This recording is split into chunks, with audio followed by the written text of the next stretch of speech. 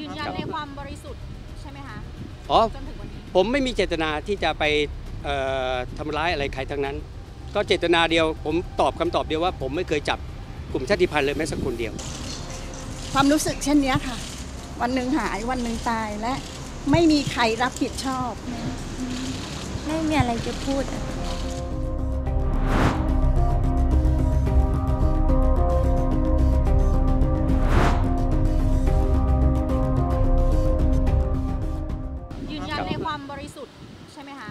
อ๋อจนถึงวันนี้ผมไม่มีเจตนาที่จะไป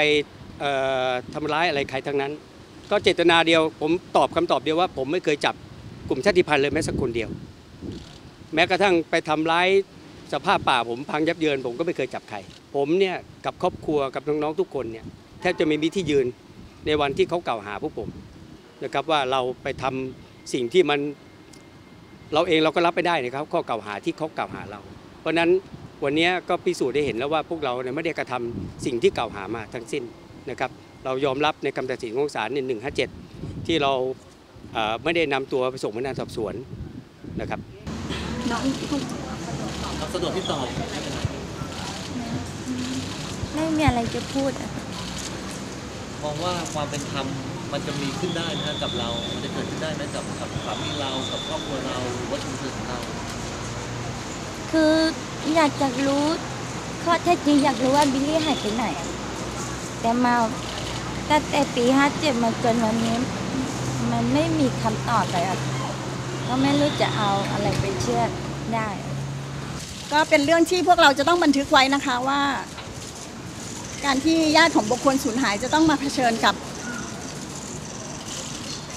ความรู้สึกเช่นนี้ค่ะ วันหนึ่งหายวันหนึ่งตายและไม่มีใครรับผิดชอบ ต่อการหายไป โดยทีมของกฎหมายก็คงต้องคุยกัน แล้วก็ขอคำพิพากษามาอ่านโดยละเอียดนะคะ เพราะว่าโดยเนื้อหาแล้วเนี่ยบิลลี่ปัจจุบันนี้ตามคำสั่งของศาลก็คือยังเป็นบุคคลที่ถูกเจ้าหน้าที่รัฐกระทำให้สูญหายไป ตั้งแต่วันที่ 17 เมษายน 2557 ทุกอย่างกลับไปอยู่ที่เดิม คือบิลลี่กลายเป็นบุคคลที่สูญหาย ความรับผิดชอบ ยังคงมีอยู่โดยรัฐ เจ้าหน้าที่รัฐเป็นผู้พบและจับกลุ่มบิลลี่เป็นคนสุดท้าย ปัจจุบันศาลไม่เชื่อว่ามีการเสียชีวิตแล้ว ดังนั้นความรับผิดชอบนี้ก็กลับไปที่รัฐบาลและรัฐทุกฝ่าย ที่จะต้องรับผิดชอบกับชุมชนแล้วก็ครอบครัวของบิลลี่ ว่าจับกลุ่มแล้วไม่นำส่งตัวที่พนักงานสอบสวนแล้ว บิลลี่หายไปไหน จริง ๆ เราก็เป็นชาวบ้าน เราเป็นทนายโจทย์ร่วมนะคะ สัมพักกำลังต่างๆ ก็คงจะต้องมอบหมายและความไว้วางใจให้กับเจ้าหน้าที่รัฐที่มีทุกอย่างอยู่ในมือรวมทั้งมีอำนาจหน้าที่ในการดำเนินการต่อเจ้าหน้าที่รัฐด้วยกันเอง ที่กระทำความผิดต่อประชาชนแม้นว่าศาลจะเชื่อเพียงว่าเป็นการกระทำความผิดเพียงเล็กน้อย